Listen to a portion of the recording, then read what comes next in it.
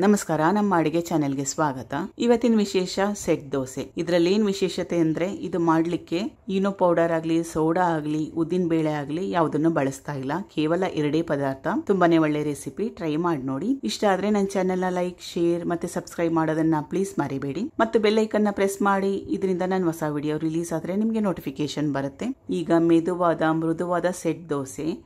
ಉದ್ದಿನ ಬೇಳೆ ಇಲ್ಲದೆ ಯಾವ ರೀತಿ ಮಾಡೋದಂತ ನೋಡೋಣ. ಇದಕ್ಕೆ ನಾನು ದೋಸೆ ಅಕ್ಕಿನ ಉಪಯೋಗಿಸ್ತಾ ಇದ್ದೀನಿ. ರೇಷನ್ ಅಂಗಡಿ ಅಕ್ಕಿ, ದಪ್ಪ ಅಕ್ಕಿ ಯಾವುದಿದ್ರೂ ಪರವಾಗಿಲ್ಲ. ಈ ಕಪ್ಪಲ್ಲಿ ಒಂದೂವರೆ ಕಪ್ ಅಷ್ಟು ಸಣ್ಣ ಬಟ್ಲು ಉಪಯೋಗಿಸಂಗಿದ್ರೆ ಮೂರು ಬಟ್ಲನ್ನ ಉಪಯೋಗಿಸಿ.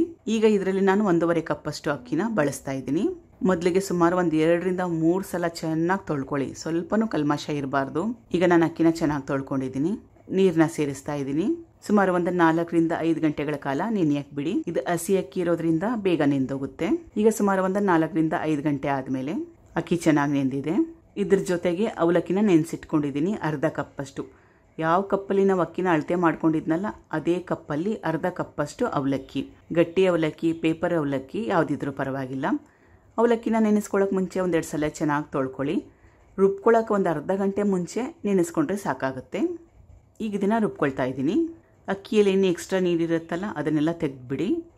ಈ ಅಕ್ಕಿಯಲ್ಲಿ ಸ್ವಲ್ಪ ನೀರು ಜಾಸ್ತಿ ಬಿಟ್ಟರು ಹಿಟ್ಟು ತೆಳುವಾಗಿಬಿಡುತ್ತೆ.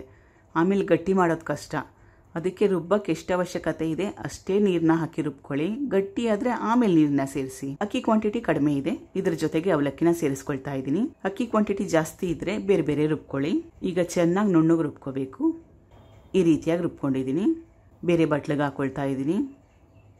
ಇದಕ್ಕೆ ಎಷ್ಟು ಅವಶ್ಯಕತೆ ಇದೆ? ಅಷ್ಟು ಉಪ್ಪು. ಉಪ್ಪನ್ನ ಈಗಲೇ ಸೇರಿಸೋದ್ರಿಂದ ಬೇಗ ಉಳಿ ಬರುತ್ತೆ. ಸಣ್ಣ ಚಮಚದಲ್ಲಿ ಕಾಲ ಚಮಚದಷ್ಟು ಸಕ್ಕರೆ. ಸಕ್ಕರೆ ಹಾಕೊಳ್ಳೋದ್ರಿಂದ ಹಿಟ್ಟಲ್ಲಿ ಸಪ್ಪೆ ಬರೋದಿಲ್ಲ. ದೋಸೆ ಕಲರ್ ಕೂಡ ಚೆನ್ನಾಗಿ ಬರುತ್ತೆ. ಚೆನ್ನಾಗಿ ಕಲಸ್ಕೊಳ್ಳಿ. ನಾವು ರೆಗ್ಯುಲರ್ ಆಗಿ ದೋಸೆ ಹಿಟ್ಟನ್ನ ರುಬ್ಬಿದ್ರೆ ಹಿಟ್ಟು ಜಾಸ್ತಿಯಾಗಿ ಉಕ್ಕು ಬರುತ್ತೆ. ಆ ರೀತಿ ಇದು ಬರೋದಿಲ್ಲ. ಇದಕ್ಕೆ ನಾವು ಉದ್ದಿನ ಬೇಳೆ ಸೇರಿಸ್ತಾ ಇಲ್ಲ. ಅದಕ್ಕೋಸ್ಕರ ಹಿಟ್ಟು ಮಾತ್ರ ಚೆನ್ನಾಗಿ ಉಳಿ ಬರುತ್ತೆ. ದೋಸೆ ಕೂಡ ಚೆನ್ನಾಗಾಗುತ್ತೆ ಈಗ ಇದನ್ನ ಸುಮಾರು ಒಂದು ಎಂಟರಿಂದ ಹತ್ತು ಗಂಟೆಗಳ ಕಾಲ ಉಳಿ ಬರಕ್ಕೆ ಬಿಡಿ. ಫ್ರಿಡ್ಜಲ್ಲಿ ಇಡಬೇಡಿ. ಹೊರಗಡೆನೇ ಇಡಿ. ಮನೆಯಲ್ಲಿ ಎಲ್ಲೂ ಉಷ್ಣಾಂಶ ಜಾಸ್ತಿ ಇದೆ. ಅಲ್ಲಿಡಿ. ಕಿಚನ್ ಕ್ಯಾಬಿನೆಟಲ್ಲಿ ಜಾಗ ಇದ್ದರೆ ಅದರಲ್ಲಿ ಕೂಡ ಇಡ್ಬೋದು. ಅಥವಾ ದೋಸೆ ಇಟ್ಟು ರುಬ್ಬಿರೋ ಪಾತ್ರೆಯನ್ನು ಕುಕ್ಕರ್ ಒಳಗಡೆ ಇಟ್ಟು ಮುಚ್ಚಳ ಮುಚ್ಚಿ, ಆಗ ಕೂಡ ಬೇಗನೆ ಇಟ್ಟು ಉಳಿ ಬರುತ್ತೆ. ಉಷ್ಣಾಂಶ ಜಾಸ್ತಿ ಇರಬೇಕು, ಇದು ಮುಖ್ಯ. ಈಗ ಸುಮಾರು ಒಂದು ಎಂಟರಿಂದ ಹತ್ತು ಗಂಟೆಗಳಾದಮೇಲೆ ಹಿಟ್ಟು ಚೆನ್ನಾಗಿ ಉಳಿ ಬಂದಿದೆ. ಇದು ನಾನು ಮೊದಲೇ ಹೇಳ್ದಂಗೆ ತುಂಬಾ ಹುಕ್ಕು ಬರೋದಿಲ್ಲ. ನೋಡಿ, ಈ ರೀತಿಯಾಗಿ ಹಗೂರ ಆಗಿದೆ. ಆಮೇಲೆ ಸ್ವಲ್ಪ ಮಟ್ಟಕ್ಕಷ್ಟು ನೊರೆ ನೊರೆಯಾಗಿರುತ್ತೆ. ತುಂಬಾ ಜೋರಾಗಿ ಕಲಿಸ್ಕೊಳಕ್ಕೆ ಹೋಗ್ಬೇಡಿ. ಉಪ್ಪನ್ನ ನಾವು ಮುಂಚೆನೇ ಸೇರಿಸಿಟ್ಟಿದ್ವಿ. ಈಗ ದೋಸೆ ಮಾಡಲಿಕ್ಕೆ ದೋಸೆ ಹಿಟ್ಟು ತಯಾರಾಗಿದೆ. ಇಂಚಿನ ನಾನು ಮೊದಲೇ ಕಾಯಕ್ಕಿಟ್ಟಿದ್ದೆ ಸ್ವಲ್ಪ ಎಣ್ಣೆ ಸವರ್ಕೊಳ್ತಾ ಇದ್ದೀನಿ. ದೋಸೆ ಹಾಕೊಳ್ಳೋವಾಗ ಲೋ ಫ್ಲೇಮಲ್ಲಿ ಇಟ್ಕೊಳ್ಳಿ. ಬೇಯಿಸ್ಕೊಳ್ಳೋವಾಗ ಮೀಡಿಯಮ್ ಫ್ಲೇಮಲ್ಲಿ ಇಟ್ಕೊಳ್ಳಿ. ಹೋಟ್ಲಲ್ಲಿ ಸೆಟ್ ದೋಸೆ ಸಿಗುತ್ತಲ್ಲ, ಅದೇ ಸೈಜಲ್ಲಿ ಮಾಡ್ಕೊಳ್ಳಿ. ಸ್ವಲ್ಪ ದಪ್ಪ ಮಾಡ್ಕೊಳ್ಳಿ. ಸ್ವಲ್ಪ ಎಣ್ಣೆ, ಎಣ್ಣೆಗೆ ಬದಲಾಗಿ ತುಪ್ಪ ಕೂಡ ಸೇರಿಸ್ಬೋದು. ಎಷ್ಟು ಚೆನ್ನಾಗಿ ಬಂದಿದೆ ನೋಡಿ. ಇದಕ್ಕೆ ನಾವು ಉದ್ದಿನ ಬೇಳೆ, ಈನು, ಸೋಡಾ ಯಾವುದನ್ನು ಸೇರಿಸಿಲ್ಲ. ಕೇವಲ ಎರಡೇ ಪದಾರ್ಥ. ಈಗ ನಾನು ತಿರುವಾಕೊಳ್ತಾ ಇದ್ದೀನಿ. ಎರಡು ಕಡೆ ಚೆನ್ನಾಗಿ ಬೇಯಿಸ್ಕೊಳ್ಳಿ. ಇದು ದಪ್ಪ ಇರೋದ್ರಿಂದ ಎರಡು ಕಡೆ ಬೇಯಿಸ್ಕೊಂಡ್ರೆ ಒಳ್ಳೆಯದು ಈಗ ಇದಾಗಿದೆ. ಮೆದುವಾದ, ಮೃದುವಾದ ಸೆಟ್ ದೋಸೆ ತಯಾರಾಗಿದೆ. ಕೇವಲ ಎರಡೇ ಪದಾರ್ಥ. ರೆಸಿಪಿನ ಪ್ರಯತ್ನ ಮಾಡಿ ನೋಡಿ. ಇಷ್ಟ ಆದರೆ ನನ್ನ ಚಾನಲ್ನ ಲೈಕ್, ಶೇರ್ ಮತ್ತು ಸಬ್ಸ್ಕ್ರೈಬ್ ಮಾಡೋದನ್ನು ಪ್ಲೀಸ್ ಮರಿಬೇಡಿ.